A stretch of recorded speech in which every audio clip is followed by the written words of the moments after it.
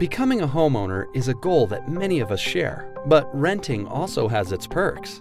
How do you know which is right for you? Here are a few things to consider before house shopping.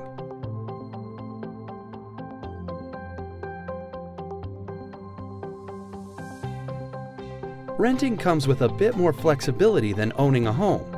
If a great job opportunity comes up in another state, it can be easier to break a lease or sublet than to sell your home. However, when you rent, you leave with nothing.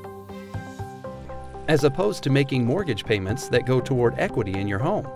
If you plan on staying put for the next several years, buying might be a good move.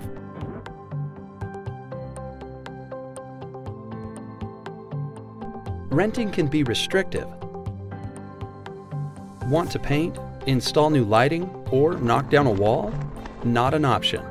But while owning a home comes with the luxury of personalization, it also comes with added responsibility. Any maintenance or issues that arise are now entirely your responsibility. Be sure you can afford these things before you decide to buy. Purchasing a home takes a great deal of financial preparation that renting does not. Either route will require proof of income and a credit check, but buying a home will require significantly more money up front to cover your down payment and closing costs. If you haven't started saving, keep renting until you're ready.